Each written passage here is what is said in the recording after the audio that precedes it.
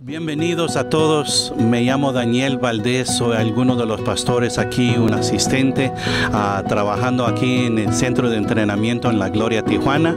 Ah, gracias por esta oportunidad y les queremos dar la bienvenida y también un gran saludo a Rema TV o TV Producciones. Gracias a ustedes.